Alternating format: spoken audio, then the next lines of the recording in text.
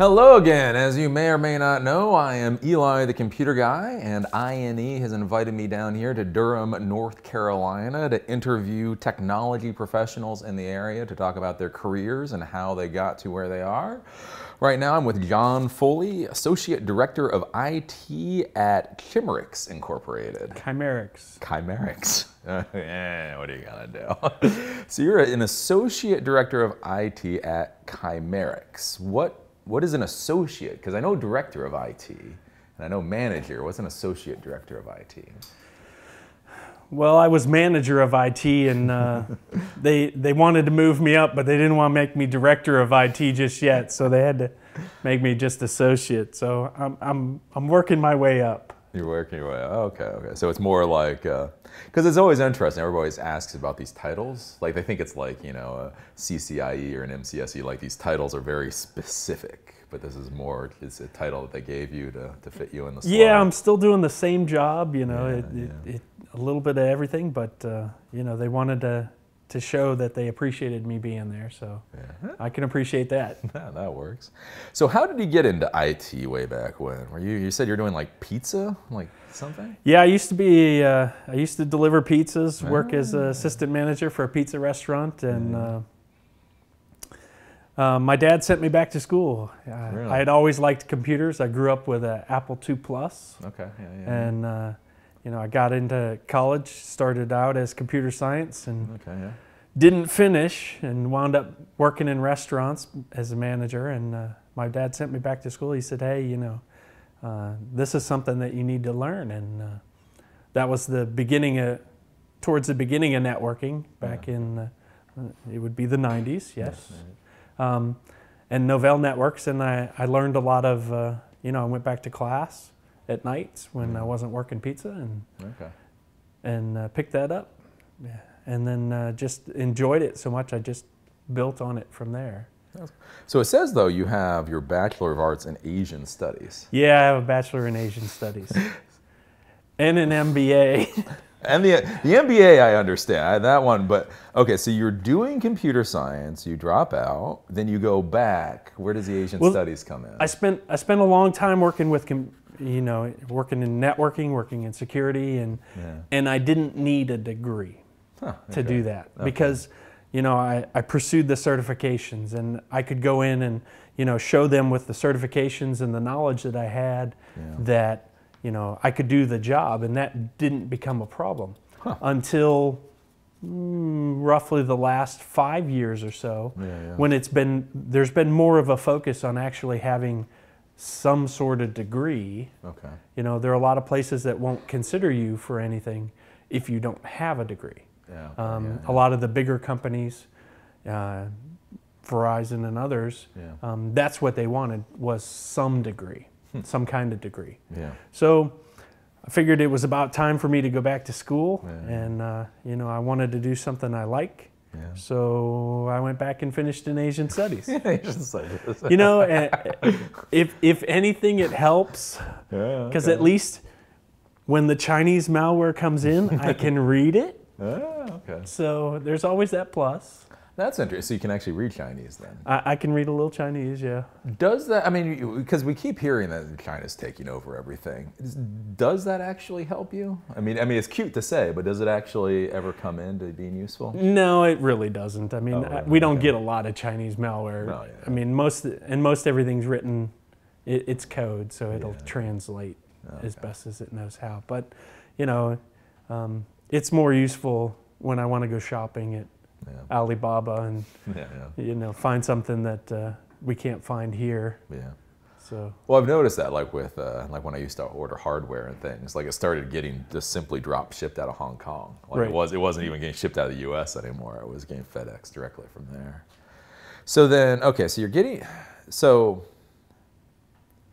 so you're doing your computer science degree, and then you go back to college again, and then you stopped going to college, and then you just recently finished up. Is that the deal? Or I wasn't uh, a good student, let's say. No, is it? Okay. I had a little too much fun. yeah, okay, So I got okay. I got kicked out of school. yeah. Oh, well, Uh, okay, yeah, yeah.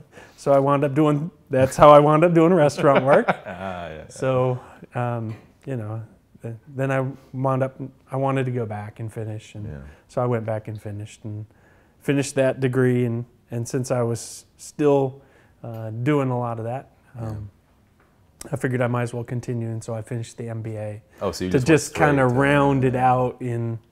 Um, give me a little bit more of the business understanding. So, is there any advice you can give on, you know, because I mean, a lot of people do kick, get kicked out or don't make it their first time.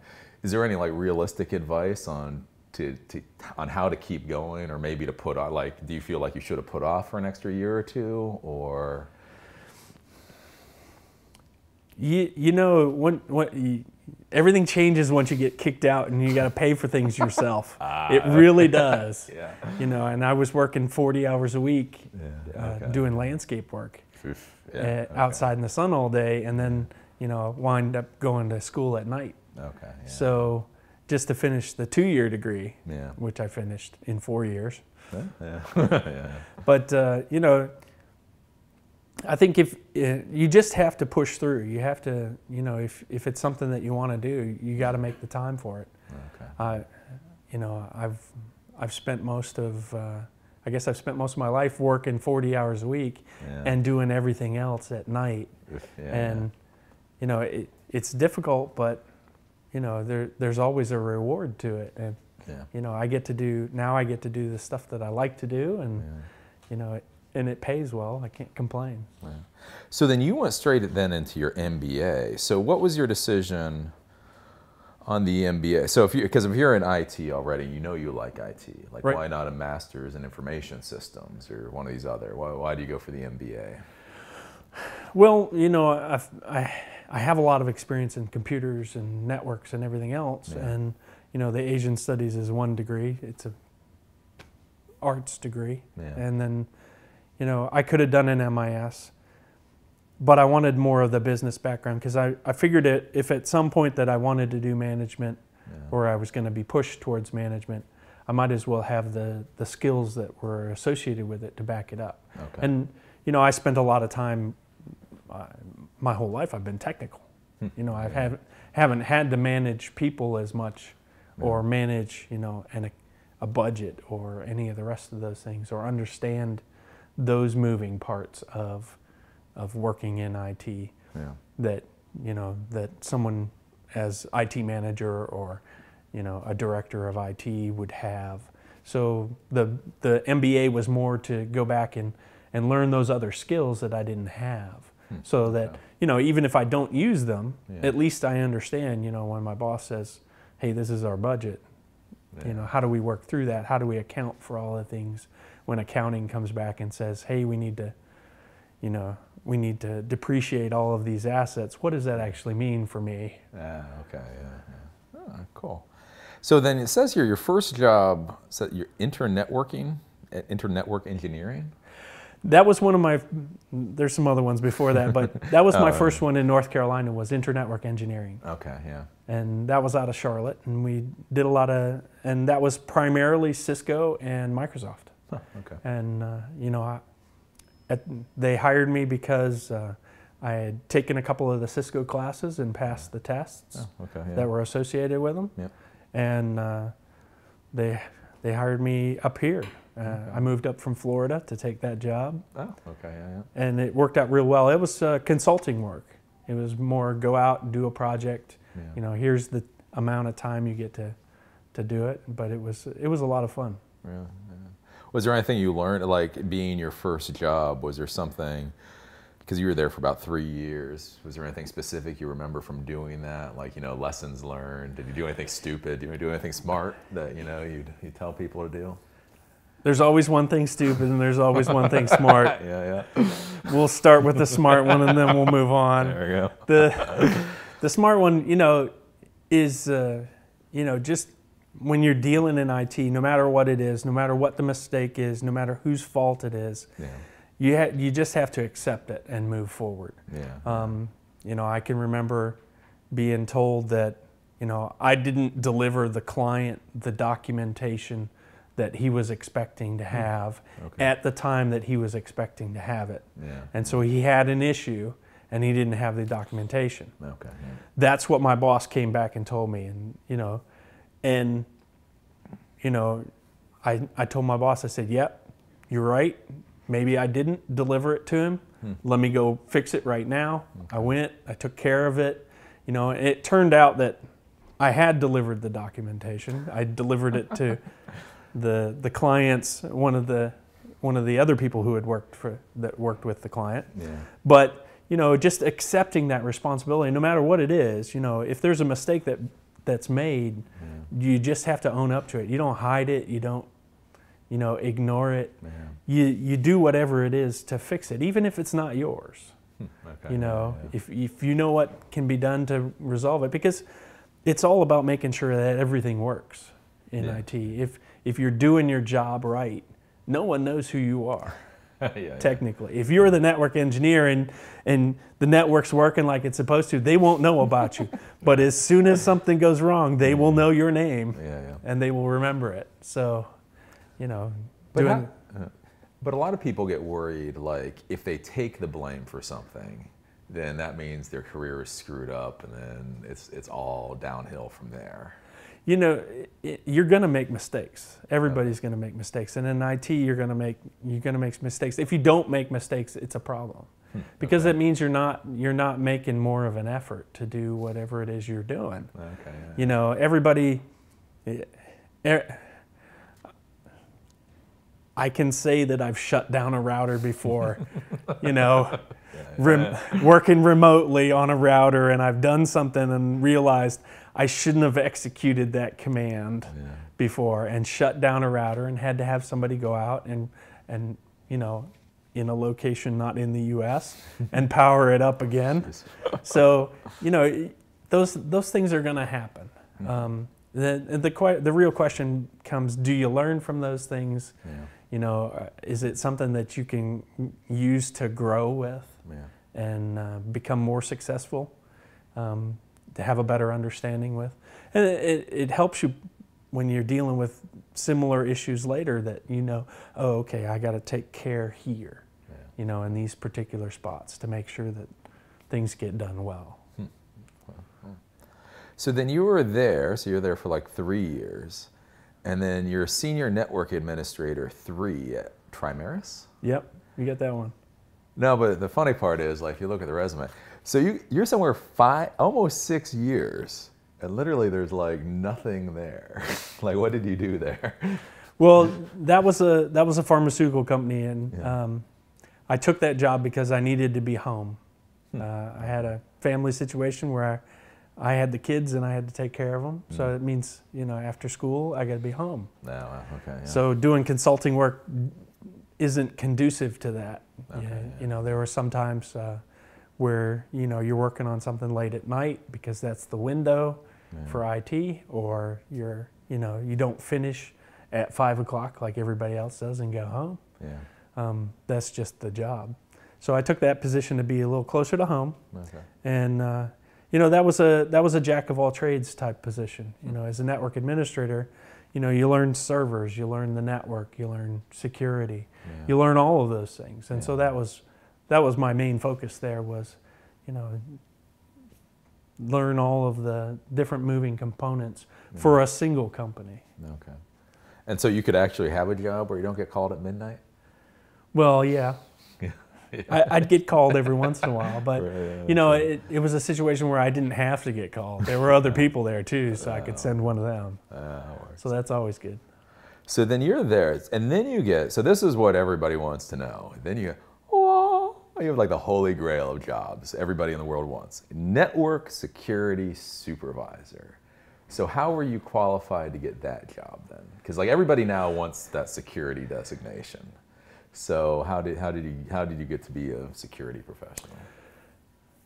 Towards the last couple of years at uh, Trimeris, Yeah. um, we knew that the company was going to shut down. The Yeah. they had a drug on the market, but the board of directors decided that uh, they didn't want to do any more with the company, so they basically closed down the company. So I spent the last year of my time there Yeah. um, really learning um, the other skills that I had let go. By, you know, you work in one position. Yeah. Sometimes you you just do what you need to do. You don't pick up the other certifications. You don't pick up, you know, the newer skills that um, you might need. So I spent, you know, I spent time going back and learning, learning Cisco Okay. uh, again, and picking up uh, CISSP, CISA, okay. you know, all of those certifications. I had had them before, but I went back and took the tests again. Hmm, okay. Um, you know, I picked up other things that were more security focused. okay. Um, you know, at the time I was working on Cisco security, yeah. firewalls, and you know, picking uh, material from INE and Yeah. other providers, and and just really running through that stuff. And so that that was, uh, you know, at the time I did digital forensics. Hmm. Uh, I took a digital forensics class, and I liked that stuff, and Yeah. started working on that. And and uh, you know, network security supervisor was more network network supervisor, but uh, Yeah. you know, the experience that I had had, um, you know, as a network administrator helped me out there because you know it was still applications. You know, it was the antivirus, Yeah. and it was how do we do patch management, Yeah. and not just securing the network, and you know how do we how do we look at it from a bigger picture. Um, and then and the reason I got that position is they they needed somebody to come in. They had done an audit, a security audit, had somebody come in and do a security audit, and and they found some places that they wanted to fix. Okay. Yeah. And so they hired somebody in to help fix that, and that was me. So were you were you going for a security position where you're like the next job I want security or did this happen to be the job that you were hired? No, for? I was actually going for security because I could see that the, you know, everything was going that way. I had Okay. I had spent a lot of time in, in the network side, and you could see that security was starting to ramp up Yeah. a lot quicker Hmm. around that time. You know, we were having a lot more. Um, we had a lot of malware problems around that time. Yeah, yeah. A lot of viruses uh, that that caught everybody, and so there was a bigger focus. Huh, okay. And so. So then, when in your career did you start? Because at this point, you're eh, you're about eight, nine years in. So when did you start taking like the security certifications and the security training? That was about that time that I started doing all of the security, that that kind of focus on security certifications and training, and Okay. um, you know, I, and I really liked it. It was a Yeah. having the network background Yeah. um, made a bigger difference for security. You know, it's easy to create a couple of rules on the firewall, but if you actually understand why you're creating those rules, Yeah. where you know when somebody says you know man in the middle attack understanding what that actually means from a network side Yeah. how do we see it Yeah. it makes a bigger difference so having that background the the network security was a, a natural progression from there And then, so you're saying you did digital uh, forensics, and so again, that's another big buzzword. Did you actually do digital forensics, and like what what did that actually mean? In the because I hear that a lot, like people want to do digital forensics, but then I talk with companies that have zero interest in paying for digital forensics. They're just like, give me give me an excuse to fire that person, and you're like, well, we have a log that says they did it. Fine, good enough, they're fired like actual forensics, I haven't seen a lot of companies really want to get that far into it. and they really don't They don't, they, okay. they don't want to find out what their employees are doing a lot of the times Yeah, it's yeah. usually when there's a problem that they come back and say you know find out what what this person's done and I've Yeah. gotten those and that was that was part of it was I took the class and I liked what I liked learning that how you could read information off the hard drive and you know that when you delete things that they're still still there just Yeah. the pointer to it is missing Yeah. and and while that that whole process has changed a lot over the last eight years and it's gotten easier and better and Yeah. You know it, um, i don't see companies wanting to know all of that network in network forensics is a big thing but that's more you know after we've had an incident Yeah. Yeah. Yeah. so um, I've gotten requests to do uh, when I was working at different places. I've gotten requests, hey, take this hard drive and tell me what they've been doing because Yeah. we suspect he's been doing something. And and I've done those, and they're not easy things to do because you know, there's a whole lot of liability there. There's Yeah. a whole lot of, you know, what if you find something that you're not supposed to? And and I've run into things that you probably shouldn't have Mm. been doing, or Yeah. people taking pictures they, they probably shouldn't have been taking, or going to places that they shouldn't have been doing. Yeah. Um, you know, one of I got one of those jobs because they wanted to look at what somebody somebody who was in the pr- position prior to me was doing. Hmm. And so they handed me his laptop and said, "Here, see what you can do with it." Okay. Yeah. So, So then, with that kind of thing, with you doing forensics, I was always nervous with that. It wasn't so bad was a, as, as a normal consultant because the person normally owned the computer. Normally, the forensic, the recovery was they did something stupid. Um, but when you get in the corporate world, especially in the U.S., there's some really bizarre laws about like what, what pri- like private information on somebody else's computer, and then if Right. you recover it, you can be violate. You can run into some issues. Did you think about how to protect yourself from that? Did you get the company to sign something that say you're not liable or they'll It's- protect you? it's or, always important to make sure you have a clear mandate for those tasks that they're asking you to do. Yeah. That you go back and say to the lawyer, "Put it in writing," Okay, because yeah. you want it in writing. yeah, You don't want somebody to come, your boss to come and say, "Here, do this laptop for me," and then you find out, well, he didn't have the permission to give you that laptop to do to Yeah. begin with. yeah, So yeah, that that's yeah, always that was the big thing was making sure that I wasn't violating any laws doing it and and where do you stop? You know, Yeah. if you find blank, yeah, what does that mean? Is it is it now something that I've got to stop the investigation because it's now a criminal investigation? yeah. And how do we how do we deal with those types of issues? So So how do you deal with that though? Because I mean, the, one of the problems you run into, as everybody complains about, and I will, I will admit, sometimes you have stupid managers, and so sometimes the stupid manager will tell you, yes, you have the right to do this, even when they they don't have the. So like, who do you talk to, or who do you try to fact check to make sure you do have the authority to do something? Well, if it's your manager, get it in writing from them. Get it in an Right. email. Okay, You know, yeah. even it, email's good enough. yeah. okay. You know, for most things. Um, and if there's ever a question, you know, it's always the CEO or the the company's lawyer. Yeah. Okay. Those are the the best places to go for, you know, finding out if you truly have. Uh, you know, it, HR's a, HR's a help, Yeah. but you know, ultimately it comes back to, does the lawyer know what's going on? Yeah.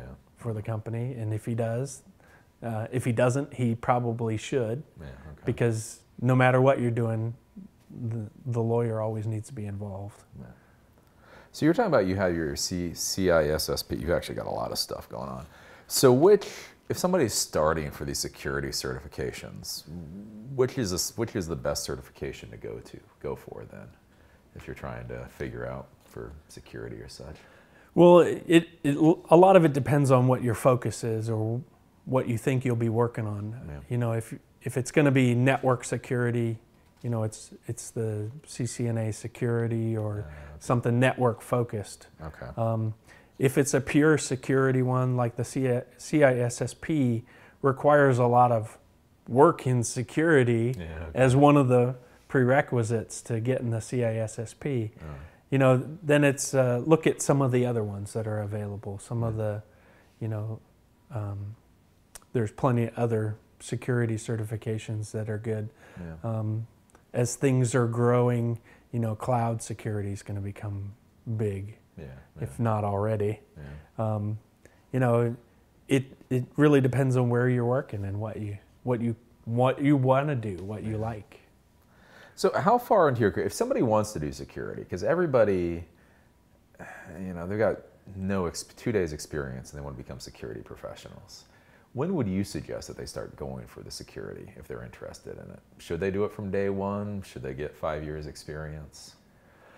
No, you, I would say start as soon as you can because it's going to change over the course of the time anyway. Okay. Um, it's not going to hurt you to start at the beginning and uh, you know and spend an hour or two a night or a week whatever it whatever you can work out Yeah, to learn the skills get as much as you can to to read and yeah, you know find the websites that everybody likes talk to the people who are doing that type of work now Okay. um, and ask them. There's plenty of meetup groups or other groups that are, you know, what are you, what are you reading? What do you what websites do you look at? Yeah. You know, where do you get your information from, Okay. and how do you keep track of it? And and just you know, spend the time, get get some labs that you can do, Yeah. virtual labs are easy to do. Pick up some books, uh, electronic or physical Yeah. and uh, and go through them and see where you can, you know, work work on your own stuff, work on your own network, and how can you how can you make your your own network a little safer, your your own computer. Yeah. How many people who who have their own computer, you know, also have admin rights as the default on their computer, you know, Yeah, things like yeah, that. Take away your admin rights and then try and do something and see how well you see how well you can get along and, and really understand, you know, how that how everything is affected by what you choose to do. So then you were doing the security. So you were with the one company, and then you went to Ver- so you were with North Carolina Farm Bureau Insurance, but then you were able to go over to Verizon. Was there a reason for the switch? Like, did, was it a better better job offer? Did you get more out of going? It was a better job offer and it fit with the family. It, you know, okay, yeah, yeah. um, and that was the bigger thing is it fit with the family. Um, Verizon was the security operations center, the SOC, Oh, okay, uh, yeah, and uh, that actually wound up being nights. Ooh. So did, did you know that I volunteered to help somebody out, and two and a half years later, Oh. uh, you know, but it was good because it gave me an opportunity to go back to school and finish. Oh, And so, you know, I, I worked at night and Yeah. came home, slept for a couple hours, went to school, came back from class, Yeah. went back to sleep for a couple more hours, and Ugh, all right. So, so, like, what kind of shift was that then? uh, 10 to 7. Ten to seven, really? Yeah. Yeah, something like that. It gets hard right around three or four. I would imagine. So that was that that was that was not the plan. That was just something. that wasn't the plan, but that was what worked out. And, Yeah, right. you know, it was good experience because um, working in the SOC at night, um, that's when everything gets done. I mean, Interesting. um, when no one when no one's working. Yeah, okay, I mean, yeah, it's yeah, typical IT. You can do everything when no one is there. Yeah, yeah. So, um, you know, all of the break fix things were done at night. Huh. Um, yeah. You know, rebuild a F5 load balancer yeah. at night. yeah, yeah, okay. Rebuild a Cisco router or, you know, firewall. That was yeah, it was at night. And uh, it was good experience because it was remote. Oh, So everything there was no equipment within thousands of miles of where we were. really? Oh, okay. So, you know, you might be working on a firewall in Orlando yeah. and a firewall in China. Huh. So for different companies and banks, and you get you get a lot of experience on a lot of different things, and and that's why I was there Yeah. was uh, to build on uh, that experience and help help out because I knew a lot of different things at that point. Okay. Yeah. yeah.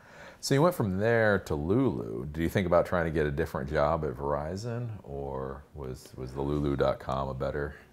I was kind of limited in in where I could move up in Verizon, Really, I think it would be big enough. You'd have a lot of. not without switching groups.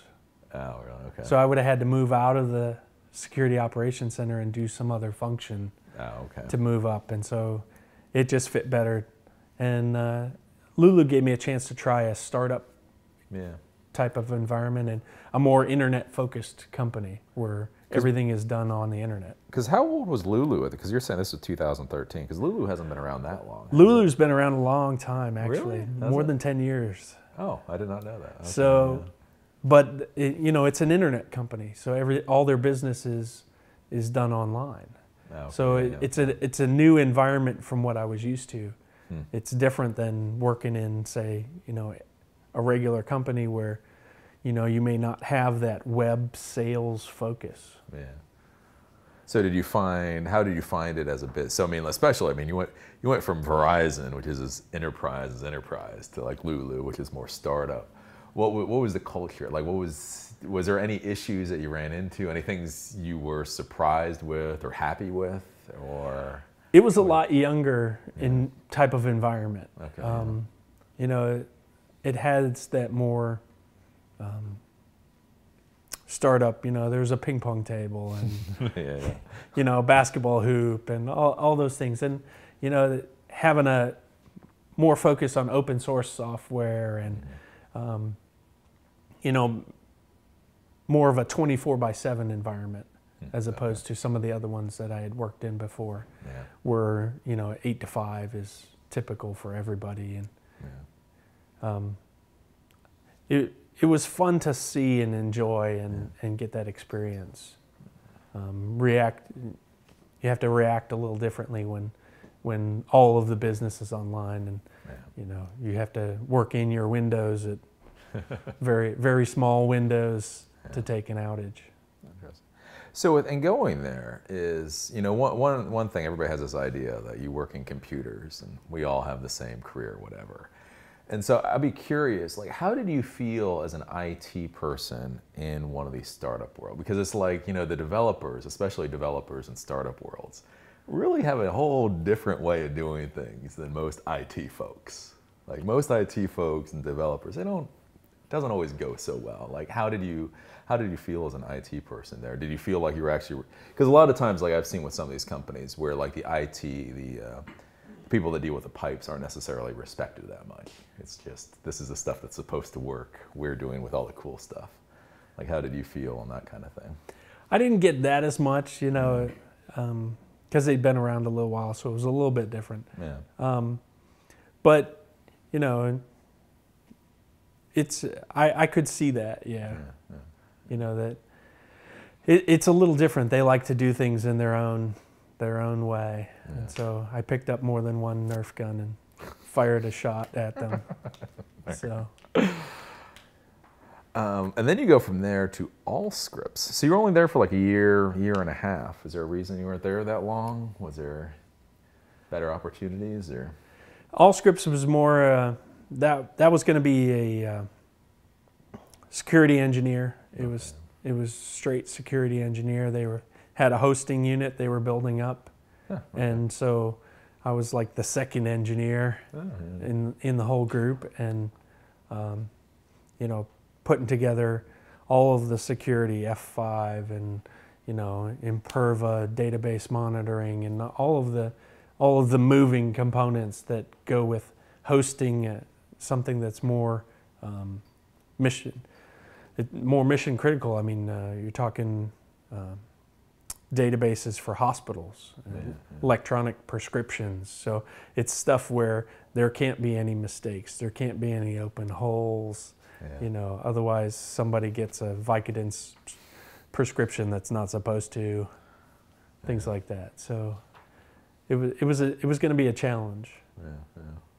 But you were only there for like six months. Yeah, I didn't stay there because uh, I had my boss from Trimaris call me and say he he needed some help, Oh, okay. and uh, it was a it was an opportunity I couldn't refuse. yeah, okay. Um, he said uh, he he needed some help in there, and uh, there's a chance that uh, I can take over for him when he's gone. So So did you feel sheepish at all? Because I mean, that's one of the big questions with people is like, you know, when when is it okay to leave a company? So six months, even in the tech world, that's pretty short. that was really short. Yeah, I felt bad about that because I'd never done that before. Okay, yeah. You know, but it was it was it was just an opportunity I couldn't I couldn't put down. I mean, Yeah. I gave my boss as much notice as I could, and Okay. said, you know, I was I was honest with him and Yeah. said, you know, this is why. It's not because of anything here. Yeah, yeah. You know, I, I liked working there. So Did you um, like? Is there anything to, to make it easier if you're going to be like leaving, especially that that quickly? no, there's there nothing that makes it easier. You, You just, just gotta gotta- suck it up, just- Oh, catch him on his way out the door, so at least he has some. He can think about it for a little while before he comes back at you. yeah. Yeah, okay. So, like, if you're leaving a company like that, did you get a contract from the new company just to make sure? Because, like, some people will leave their job and then the next job doesn't come through, and then they feel like they burned the old bridge. And did you get like a contract, like, especially at your level? Do you get some, something in writing that they're actually going to hire you? I, yeah, you get an employment offer, Okay, you know, and in this case, yeah, it was something that I got in writing. yeah, So, okay. um, you know, that's always nice if you can. Yeah. It doesn't always come that way, but Yeah. usually you get an offer letter, and hopefully, you know, they'll honor it. Yeah, hopefully. and then, so you're actually a committee member at the EC Council, the Scheme Committee, and you've been that for five years. So, how do you, because EC Council is kind of one of those things like you hear about, but you don't really understand that there's human beings behind it. You know, how do you become a committee member there?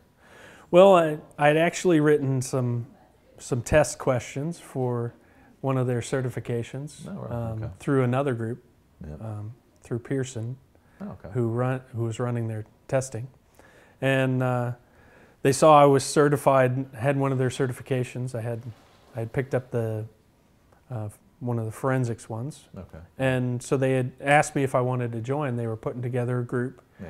to uh, to give to give advice about uh, how to make the certification successful. You know, how should they proceed? Ask questions. You know, as a secondary resource in case someone someone had an issue with the the test or or the way that it was handled. No. Um, they'd have somebody else to to go to that wasn't. Um, particularly an EC Council employee, Yeah, right, um, yeah, but an outside outside group. Okay. So do you enjoy doing that? Is that something that you would stick with because you've been there for five years? Is that something you just do for your entire career, or Yeah, it's always nice to to be able to one. It gives me a chance to give back, yeah? you know, and help guide, um, you know, the, where I think the certification, give them advice on where we've given them advice on where we think the certification should go, and Yeah. you know, hey, do you you, you need to bring in this these types of components Okay. to make the test more valuable to everyone.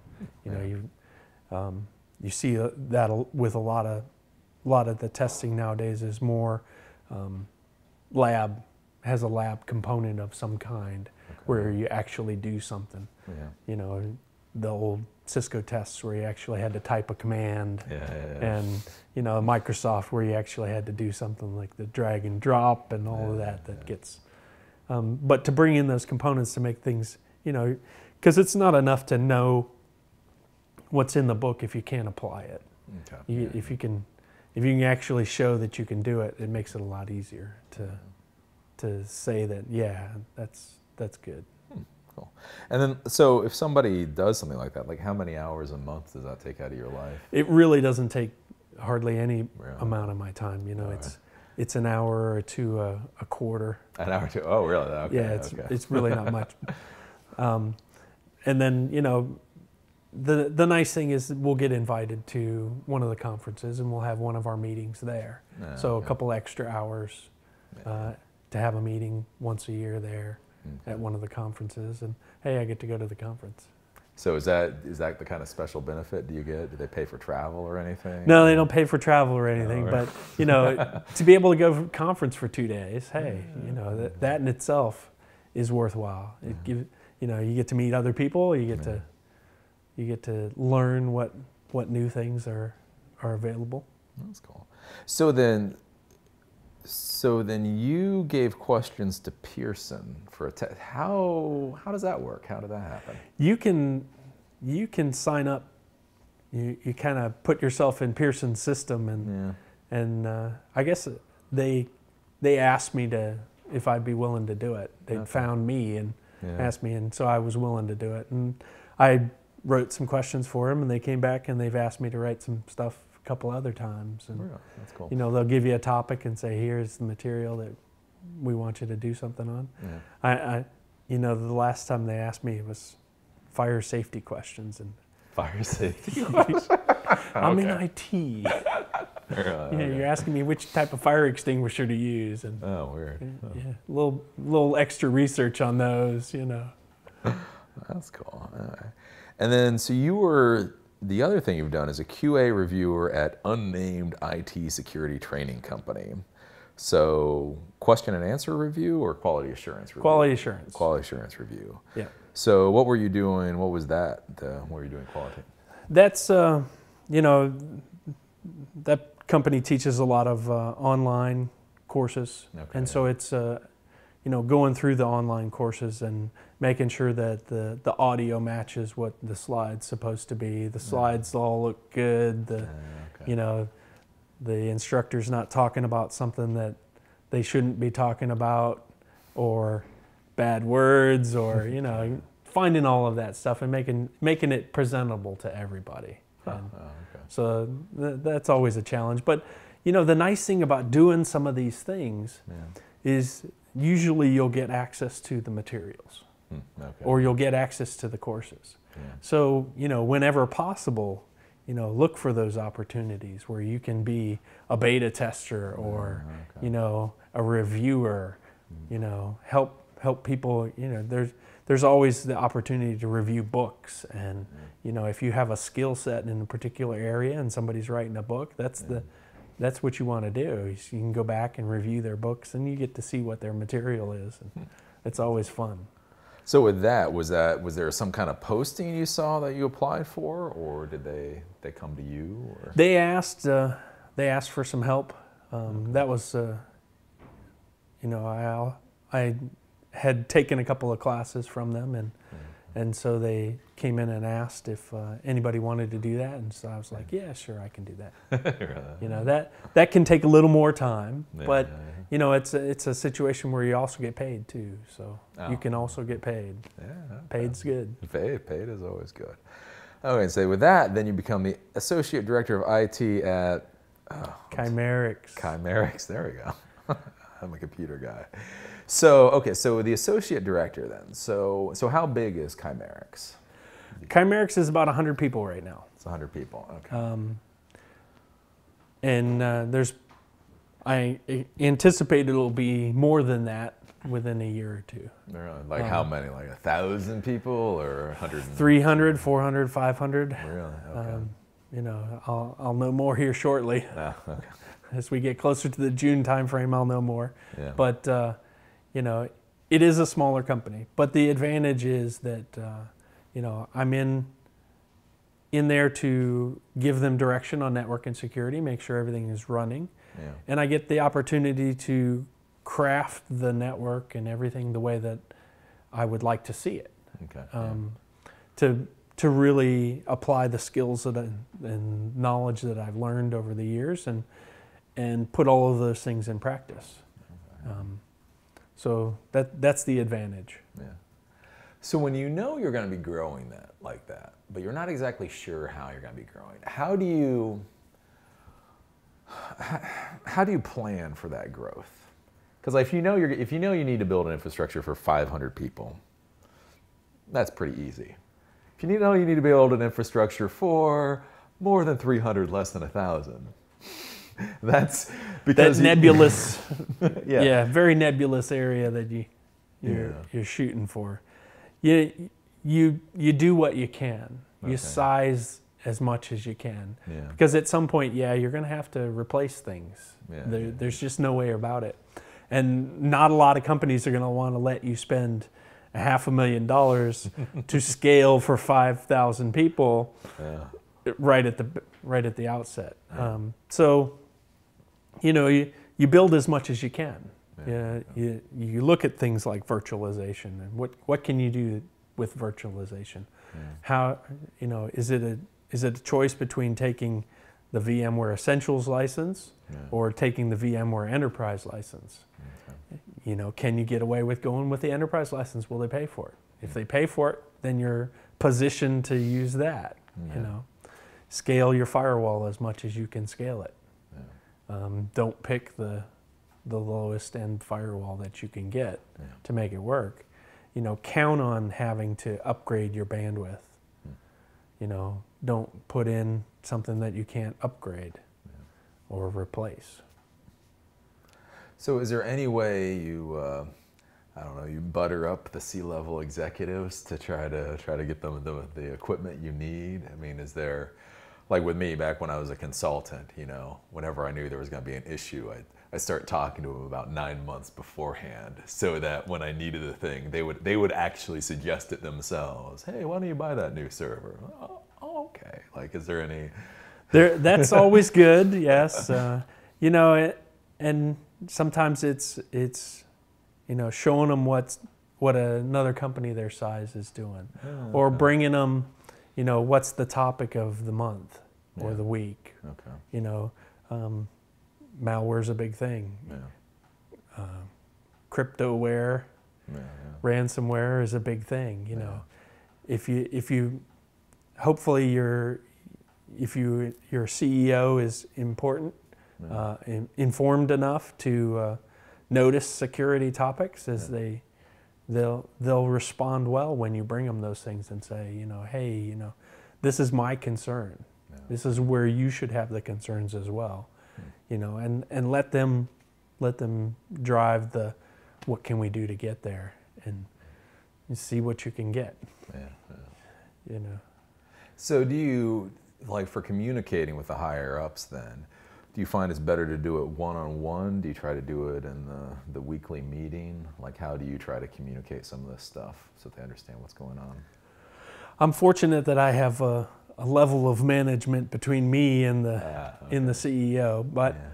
you know, at the same time, she'll walk into my office and say, "Hey, you know, this is what we're doing next week. Yeah.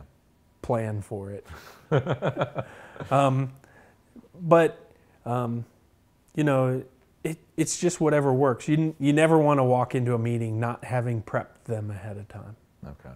Yeah. You know, you want to send them the information as much as possible. Yeah. Um, give them the give them the information, and then when you go in to talk, they've already got it. They've probably already reviewed it. They at least have an opinion on it Yeah. for you already. Yeah. Um, if you walk in there blind, the answer is probably going to be no, Okay. because it's, you know, it's it's a money decision at that point. Yeah. Yeah. So prepare them, prep them, talk to them ahead of time, nine months if you have to. Yeah. yeah. You know, just give them a heads up. Oh, interesting. So you're there, and your plan is to be you're the associate director of IT. So your plan is to be the director of IT. So then a company, especially a smaller company, what would be the difference between the director of IT and the CIO? And a lot of times there's not there's not that kind of difference. Okay. Um, you know, that that is essentially a CIO type of position. My my current boss is now yeah. that type of position, but he was IT director before. Oh, okay. So um, it, it's whether they want to recognize the, the CIO type of position or whether they want to keep it at a, a lower level. Um, you know, as IT director in a small company, you are doing everything. yeah, yeah, yeah. So, you know, you're the engineer, you're the network engineer, you're the security engineer, you're the systems engineer, you're the database guy Yeah. half the time. yeah, yeah. So, um, you know, it just depends on what they want to do. So would you ever? I mean, because I mean, all these titles are half made up. You know, most of the time. Would you ever push for a better title, even if you don't get anything else? You know, not an extra dime of pay, not extra. Would you push for a CIO title just for your career? Would no. you ever do that now? And the reason, I'll, I'll tell you the reason is Yeah. at some point there's a diminishing uh, return on that. Yeah. If you look at, there's a limited number of CIO positions, whereas, you know, systems engineer or network engineer, you can find thousands. Um, really, once you reach that level and you try and push that level Yeah. of a position, yeah, you're going to find it harder and harder to get a job. Interesting. So that- Okay. if you get up there, um, there's not a lot of turnover Yeah. Yeah. Because. Yeah. unless something really bad happens. yeah. Um, but you could go months or y- year without having another job at a CIO level. Really. Okay. You know, unless you're wanting to move, Yeah. you know, willing to take in another city. You know, there's a whole bunch of things that you would have to give up in order to, you know, just move like that. Yeah. And when you reach that level, a lot of it is not, um, it's not what you can do; it's who you know. Okay. Yeah. Yeah. You know, Huh. you'll get, you'll get asked to be those types of positions because somebody knows who you are already. Yeah, okay, yeah, yeah. So that's it. I would not have expected to. You don't don't want that title. No, there's there's a limit there. You, Yeah. you may want to get there eventually, but Yeah. you know, it, it's a harder it's a harder push. You got to be able to prepare to be out of work for a year. Can you do that? You know, most people can't afford to be out of work for a year. Yeah. So So then, with your career now, so you, I mean, if you add all this stuff up, you've been doing this for quite a while. Then, what is? I mean, you've only been here for like a year, but like for you, like five years, what do you? What would your plan be for five years out? Where would you want to be? something similar, you know, either where I'm at or somewhere else, depending on what happens. But uh, you know, I'm reaching a point where the technical pieces get harder and harder to pick up. Okay. It, it it's just, you know, that's just the facts of life. Yeah. You can only shove so much into your brain before it starts rejecting. Um, Okay, but you know, to to really grow um, a group and be able to to mold a, a business, the the IT function of a business. Yeah. You know, having a background in in all these different areas allows me to see a bigger picture of things. You know, even as I was working as a network engineer, you know, yeah, I have experience in Windows servers, so I understand when somebody comes to me and says, "Hey, I'm having this problem," Yeah. I can go, "Yeah, that's not that's not a network problem. That's a this server problem because you need to do this on the server." Yeah. You know, that that rounded education.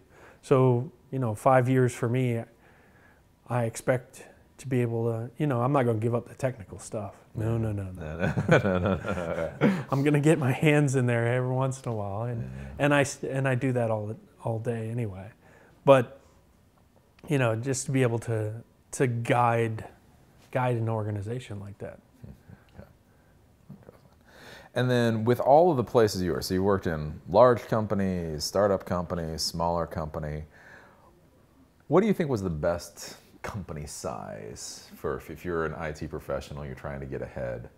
Like, was there any type that you preferred?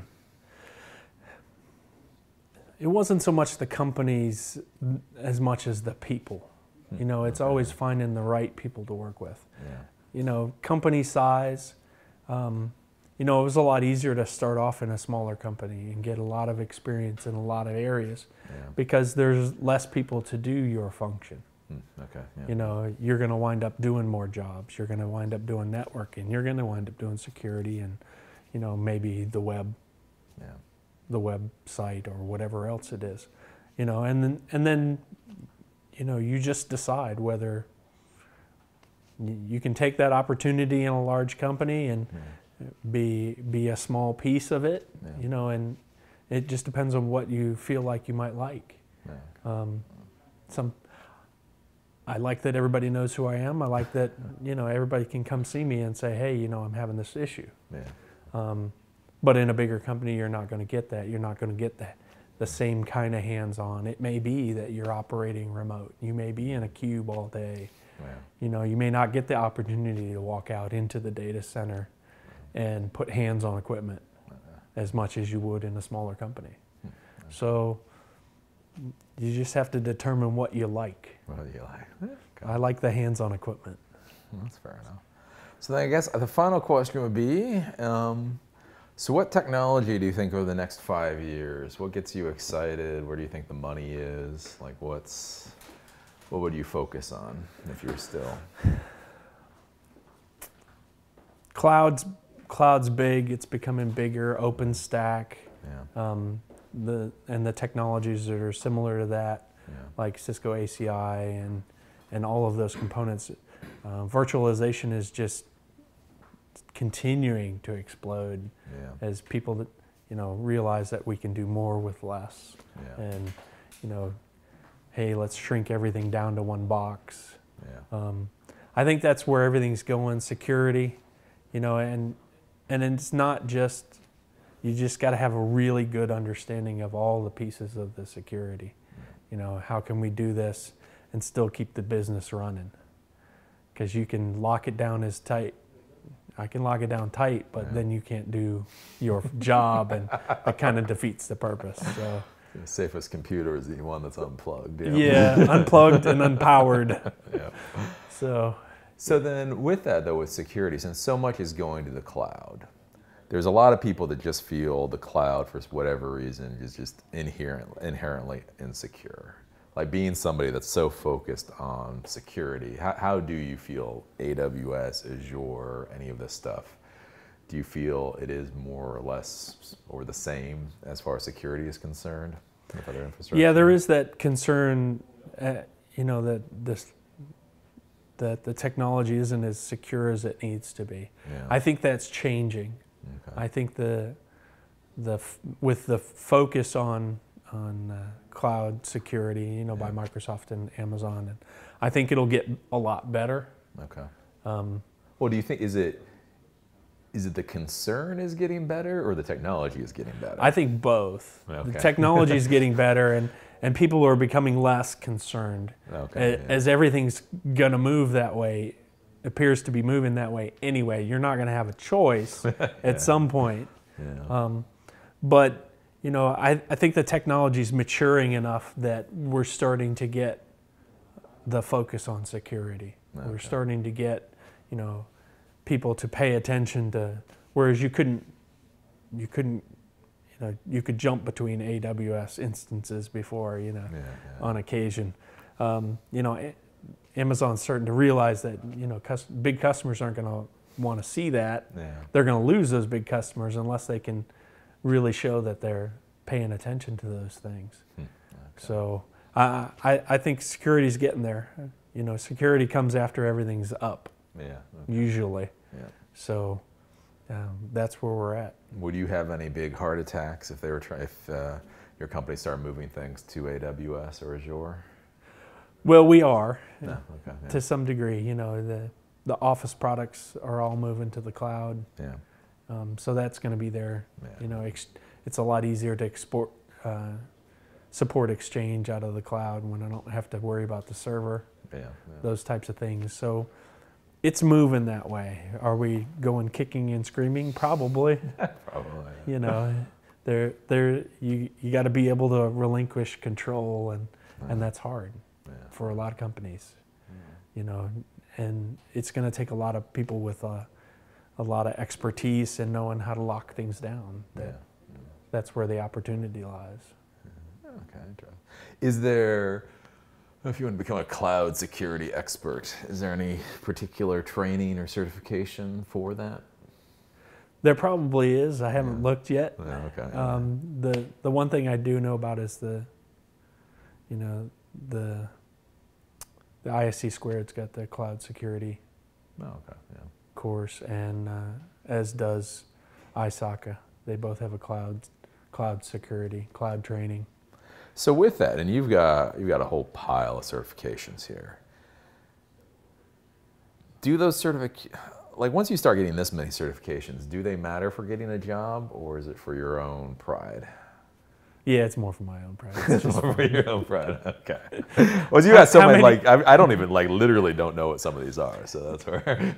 it, it it's a lot of fun. You know, I, I try and make sure that you know if I take a class and it's got a, a test associated with it, I, I take the test. yeah. Okay. You know, I don't want to waste that opportunity. Yeah. Yeah, are there some that I don't particularly do? Sure. Yeah. You know, I don't do reverse engineering malware every day, but I have the certification just because I know enough about it. Okay. Um, you know, and a lot of a lot of it, it it's all the same information. You know, you- half the information in one test is going to be in another. Okay, You know, yeah. if having that understanding and that background helps. Yeah. Um, you know, the biggest things for for me at, this point were making sure that I had the degree to go with it, okay. and- yeah, and you know that shows that you know that I've done done the college stuff, and. And the certifications show that I can do more than more than that. Would you ever go for a PhD? No, No, not even not even a question. No. I'll do it. I'll do another master's degree in something else. You know, something something that piques my interest that day, but. Yeah. You know, pick up forensic linguistics or something. You know, Yeah, something odd and tack it on there, and make it look good. Oh, cool, cool. Well, it was good talking to you today. Thanks. Yep. So uh, this was John Foley, Associate Director of IT. Um, as always, enjoyed doing this interview, and I'll see you guys in the next one.